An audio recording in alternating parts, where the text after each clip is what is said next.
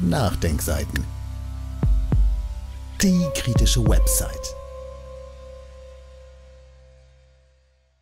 Die Bilanz von Habecks Gaspolitik ist vernichtend und doch wahrscheinlich genau so gewollt. Von Jens Berger. Von einer Gasmangellage kann im Frühjahr 2023 nicht die Rede sein. Mit über 64 Prozent liegt das Speicherniveau rund 10 Prozent über dem Level des Vorkrisenfrühjahres 2019 und mehr als doppelt so hoch wie in den Frühjahren 2021 und 2022. War die Gaspolitik der Bundesregierung also ein voller Erfolg? Das Gegenteil ist der Fall. Wie sich jetzt einmal mehr zeigt, haben nicht physische Angebotsengpässe, die es zu keinem Zeitpunkt gab, sondern die wahnsinnige Einkaufspolitik im Sommer und Herbst letzten Jahres den Gaspreis in ungeahnte Höhen getrieben, zulasten der Verbraucher aus Haushalten und Industrie. Auch wenn die Preise nach dem nur noch als wahnsinnig zu bezeichnenden staatlichen Einkaufsrausch schon lange wieder auf einem überschaubaren Niveau sind, werden die Verbraucher oder die Steuerzahler die Rechnung dafür noch lange abbezahlen müssen. Schlecht für die Verbraucher, aber offenbar durchaus im Sinne der Politik der Grünen. Lag es am milden Winter oder haben die pausenlosen Sparappelle der Spitzenpolitik dafür gesorgt, dass wir noch nicht einmal an einer Gasmangellage gekratzt haben, wie es heute der grünen Politiker und Netzagenturchef Klaus Müller triumphierend bilanziert? Wir erinnern uns, Klaus Müller hatte im Herbst und Frühwinter keine Gelegenheit ausgelassen, eben jene Gasmangellage als eigentlich unvermeidliches Katastrophenszenario an die Wand zu malen. Die Antwort dürfte die Öffentlichkeit verunsichern. Weder das Wetter noch Sparappelle, sondern die von Müller und seinem obersten Vorgesetzten Robert Habeck verantwortete Einkaufspolitik war es, die den Gasverbrauch maßgeblich beeinflusst hat. Vor allem die Industrie hat durch Stilllegungen, Umstellung auf andere umwelt- und klimaschädlichere Prozesse und Produktionsverlagerungen ins Ausland deutlich weniger Gas als in den Vorjahren verbraucht. Nötig gewesen wäre das nicht.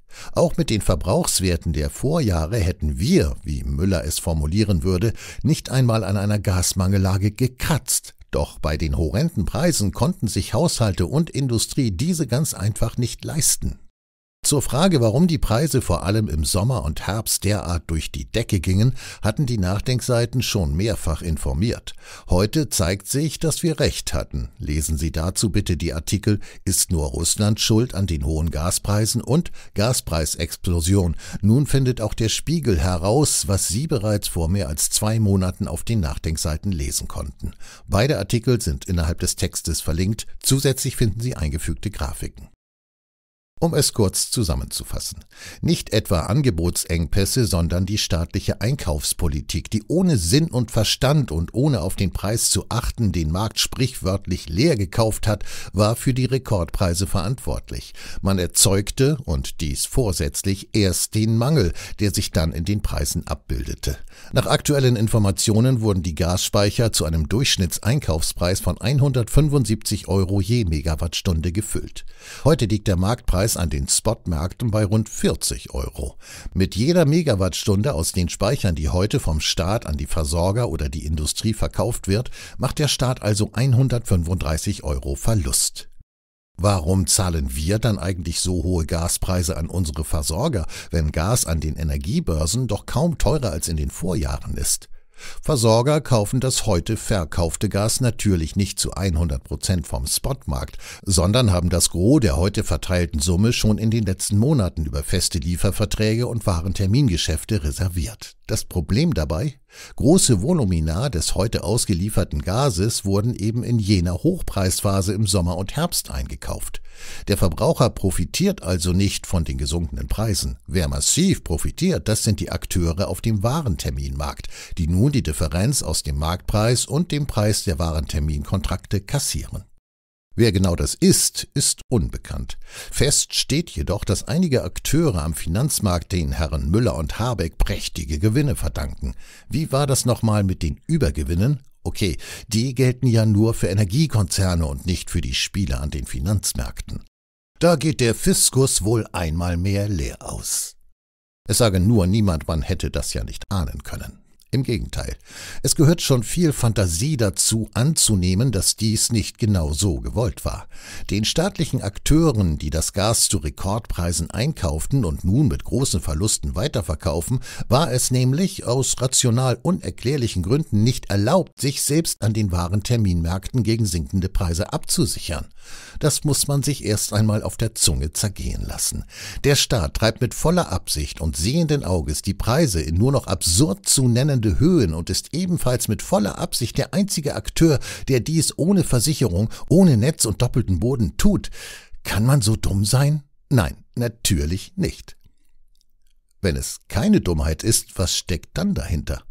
Hier kann man nur spekulieren. Waren die künstlich in die Höhe getriebenen Preise ein Anreiz, um die langfristige Umstellung auf LNG samt dem Bau der milliardenschweren Infrastruktur dafür durchzupeitschen?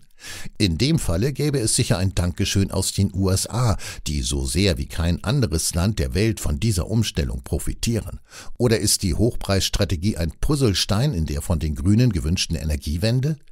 Erst die hohen Gas- und damit auch Strompreise haben einige Kernprojekte, wie beispielsweise die erzwungene energetische Sanierung von Wohngebäuden oder das Verbot von Öl- und Gasheizungen bei Neubauten, politisch möglich gemacht. Dass die meisten klimapolitischen Forderungen der Grünen nur bei hohen Energiepreisen umsetzbar sind, ist kein Geheimnis. Die Energiepreise mit dieser Begründung zum Beispiel über die Steuern und Abgaben zu erhöhen, wäre jedoch politisches Harakiri. Nun hat man die gewünschten hohen Energiepreise und einen Schuldigen, Putin. Das passt auch noch in die außen- und sicherheitspolitischen Pläne der Grünen. Man muss schon zugeben, dass diese Strategie durchaus erfolgreich war, zumindest für die Grünen. Der Rest des Landes wird dies anders sehen. Dieses Audio konnte nur entstehen, weil zahlreiche Leser und Leserinnen die Nachdenkseiten fördern und durch Spenden unterstützen. Wenn Sie auch etwas tun wollen, klicken Sie einfach den entsprechenden Button auf unserer Website an. Übrigens, Sie können uns auch bei iTunes, SoundCloud und YouTube hören und wenn Sie mögen, gerne unseren Kanal abonnieren und eine positive Bewertung für uns abgeben. Wir freuen uns über Ihre Unterstützung und die Weiterverbreitung unserer Inhalte.